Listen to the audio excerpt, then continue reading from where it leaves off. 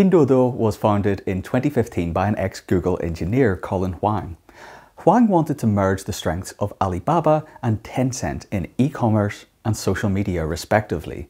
Neither of these companies understands how the other makes money, Huang noted in an interview with Bloomberg. I think a few stats will help us understand PDD's huge growth. PDD is Nasdaq listed since 2018 when it was one of the biggest IPOs of the year. For the 12 months ending on June 30th, 2021, Pinduoduo's annual active buyers reached 849.9 million. PDD reported 61 billion orders in total for 2021, up from 38.3 billion from the year before, and that was driven by rising agriculture transactions. Pinduoduo controlled 13.2% of China's e-commerce market in 2021, according to eMarketer, putting it in third place behind Alibaba, 47.1%, and JD, 16.9%. Pinduoduo's model is customer to manufacturer, or C to M, cutting out all of the intermediaries, except themselves, of course. Users download an app or they can use the PDD mini app within WeChat.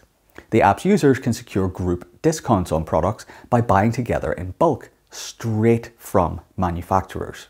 In the example here, the user can buy this infant formula as an individual shopper for 59 yuan, or about 8 US dollars, or they can club together with other shoppers and get it for 35 yuan, 5 USD instead.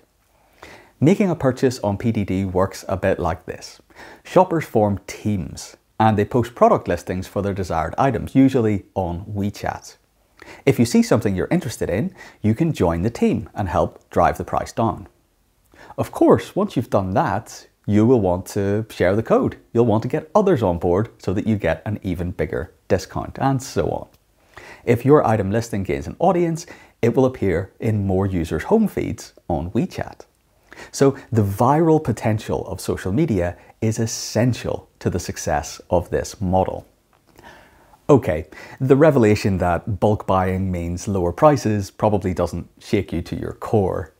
Many consumers already buy in bulk, some at large outlets and others on a smaller scale through e-commerce sites like Amazon or Walmart. You may even recall the Groupon era when we all went cuckoo for group buying, hang gliding lessons and all sorts of other discounted nonsense.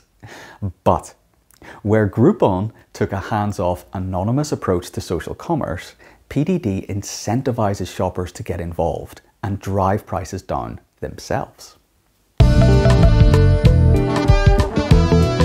We typically think of social commerce as buying products from social media. That's as far as the social part goes. Pinduoduo is about using social networking to connect with like-minded buyers with clear benefits to reaching out to as many people as possible. And they're also keen to stress that shopping should be fun. There are leaderboards, animations, and all the usual accoutrements you'd expect these days. Companies can also host a store on PDD. Just this week, Beyond Meat has announced its plans to do so. PDD is closely integrated with WeChat, the everything app that dominates online life in China. But rather than seeing WeChat as simply a broadcast medium for ads, PDD identifies demand-side network effects to make their platform more attractive.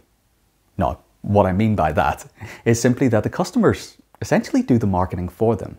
As more people get involved, that makes PDD more attractive to other new users. As the new users get on board, they want to promote it to their friends too, and so on. So it's a virtuous cycle. The discounts are normally very significant too. Buyers can secure reductions of up to 90% versus standard retail prices on everything from tissues to TVs. In 2021, PDD spent around 9 billion yuan, which is over 1.5 billion US dollars, on R&D, the highest ever in the company's history and the key focus is agriculture. Now, I have spoken to the company on a number of occasions, and it is always striking that they are determined to overhaul the full agricultural system, where others launch individual features such as Taobao's online grocery platform or Kuaishou's live stream option that farmers are increasingly using. PDD is set on bringing the full food system into the digital age. And that means training for farmers. It means providing data and insights to food producers. And it means developing a modern delivery infrastructure for a vast country. As they said in a recent interview with TechCrunch, our efforts in applying agriculture technology go beyond matching supply and demand and extend into identifying upstream technology solutions to improve productivity, nutritional profiles, and environmental sustainability. This aligns PDD rather neatly with the Chinese government's plans to modernise the country. Pinduoduo currently waives commissions for agricultural products to encourage more farmers and agricultural entrepreneurs to try out e-commerce. The company also works with local partners to hold special agricultural shopping festivals to boost consumer awareness of agricultural specialties from different regions. And it's betting big on agriculture technology. It even hosted a strawberry growing competition between its own AI and strawberry farmers. The AI won.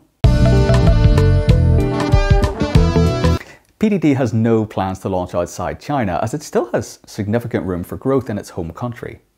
That said, plenty of international companies can learn from its model. Technology can connect consumers to farmers, ensuring a better product for the consumer and fairer prices for the farmers. What's more, PDD shows us all that social commerce can be a lot more social than just clicking to buy off Instagram. For more of these weekly high-tech specials, sign up over there. Thank you very much.